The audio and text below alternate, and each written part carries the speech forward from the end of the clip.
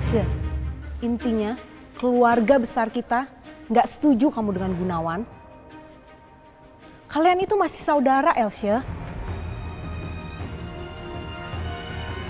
Sudahlah Els, lupakan dia. Akhirnya keluarga saya memisahkan kami.